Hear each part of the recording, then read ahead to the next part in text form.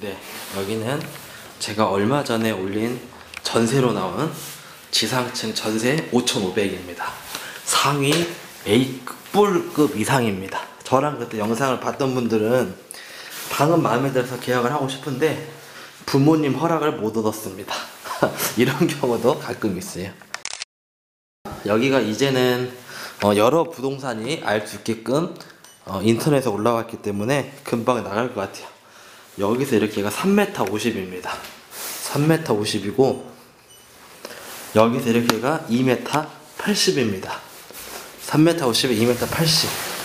이거 1억 1억이라고 요즘에는 1억이어도 이 정도면은 괜찮습니다. 그래서 5,500이면 거의 A뿔 S급 됩니다.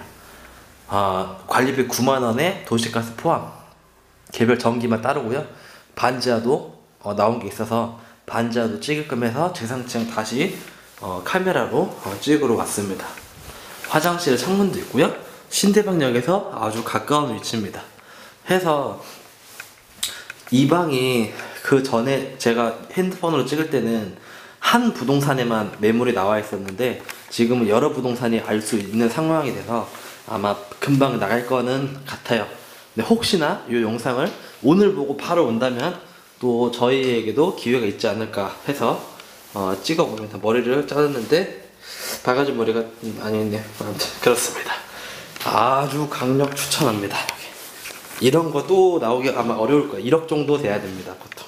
그러니까 반지하도 같이 찍을게요. 재생 목록 누르시면 어, 1000개 정도의 방 영상이 있습니다. 가격대별로 정리해놨으니까 어, 시세에는 많은 도움 될 거라고 생각합니다.